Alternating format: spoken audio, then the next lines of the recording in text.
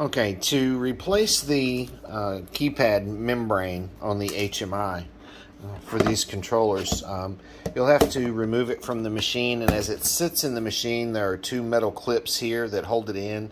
Loosen those, take them out, and then the screen will pop out of the hole in the machine. And once you get it out, you're going to remove these four screws on the back.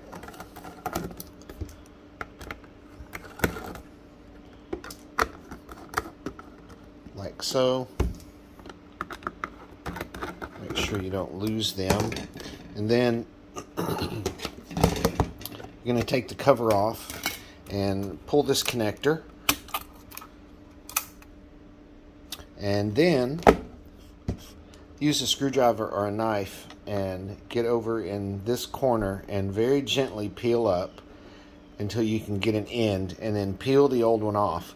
You may have to clean the plastic uh, housing, the bezel, after you remove this to get rid of any adhesive if it's not even.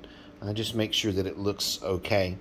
And then once you take this one off, you'll see this slot here and you'll push this new cable down through the slot and adhere this and then flip it back over and reattach this connector and then put the cover back on, put the four screws back in, and then reinstall it into the machine.